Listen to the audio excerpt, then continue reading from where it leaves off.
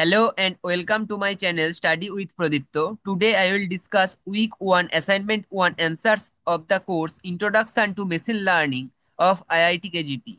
I will upload every week's assignment in this channel so you can subscribe my channel and also press the bell icons to get all the assignment answers when I upload the video.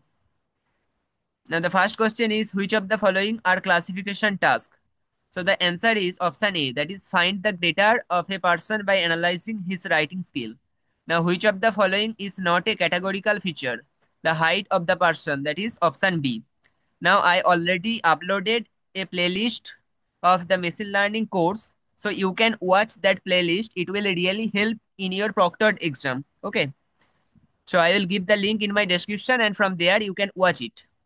Now question number three, which of the following task is not a suitable machine learning task. So the answer is option A, finding the shortest path between a pair of nodes in a graph. Now question number 4, suppose I have 10,000 emails in my mailbox out of which 2000 are spams. The spam detection system detects 150 mails as spams out of which 50 are actually spams. What is the precision and recall of my spam detection system? So the answer is option A, that is precision and recall. So I did this type of questions in those videos. So please watch the playlist. Okay. Now question number 5. A feature F1 can take certain values A, B, C, D, E, F and represents the grade of a student from a college. Which of the following statements is true in the following case? So the answer will be option B that is feature F1 is an example of ordinal variables. Now question number 6. This is the question. The answer of this question number 6 will be option D that is reinforcement learning.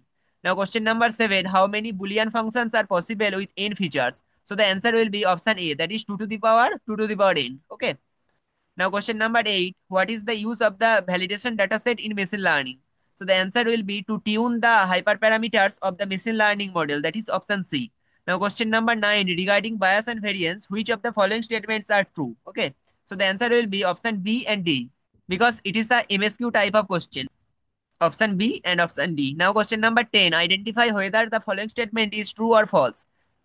So the answer will be option A, that is true. So if you get some help from this video, then please subscribe my channel and press the bell icon. Thank you for watching the video. See you in the next video.